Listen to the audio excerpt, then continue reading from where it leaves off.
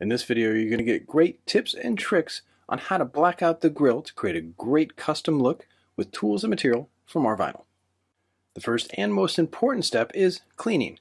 Here, taking Rapid Prep, spray directly on a highly absorbent microfiber towel and clean the main surface area. Once this is clean, take a tucking tool, place it inside the microfiber towel, and focus on the edges. It's very critical to get these extra, extra clean. Now, once the front grill is clean, you're ready to apply the material. So take the material out of the Rvinyl packet and separate it into sections to make it easier for the install. And once the panels are prepped, it's time to wrap. Here, make sure it fits left to right and you have enough material top to bottom. Then put on application glove, make sure there's a fresh buffer on the squeegee. Then release the liner.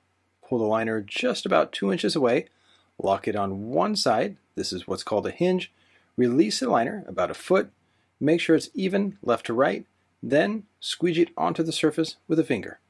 Then release the liner again, make sure the material is nice and flat, squeegee it onto the surface, and repeat the steps all the way to the end. Now using a tucking tool, with the free hand, pull the material away from the edge and tuck the material nice and deep into the gap. This will ensure full coverage, and on the bottom section run a finger to make sure it's even in terms of tension, left to right. And the last step before cutting is to come back with a heat gun. This will relax any tension on the edge, which helps ensure long-term durability. Now, click the blade so it's extra sharp, and on the top section, because this is a tight gap, make sure the blade is at the right angle, in this case around 45 degrees, and if done right, the edge will hold the blade and keep it from jumping off. Apply light pressure. For the vertical sides, always use the tucking tool to make sure there's even tension and full coverage, then cut the material safely away.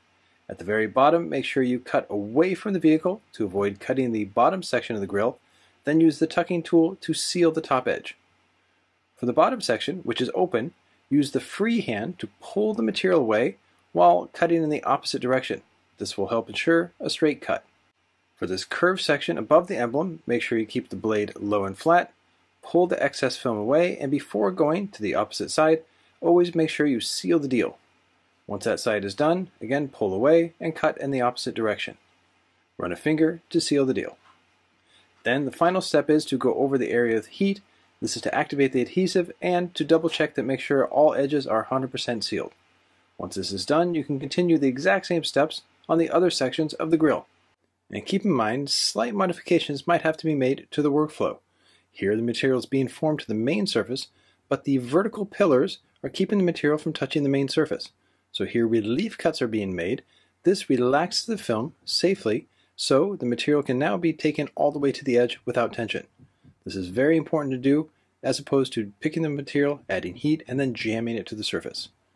Another modification that can be made is here on this side, the emblem is sticking out very far. This again keeps the material from getting all the way to the surface.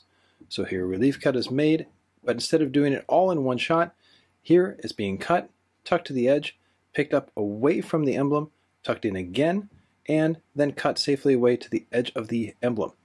By working in stages here, now you get full coverage with no tension on the main portion of the grill.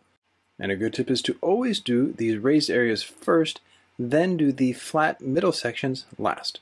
This will help create nice good solid workflow. And now with the front grille fully blacked out, drop the hood and it's very important to finish with two steps. The first is to go over the entire area with a heat gun. Go from left to right on one section to check to make sure all the edges are sealed and do this for every section of the grill that was blacked out. And the final step is simply to spray the microfiber towel, in this case with a cleaner that prepped the surface, and wipe the grill down to make sure that there's no handprints on the main surface. And with that, here's a shot of the final result.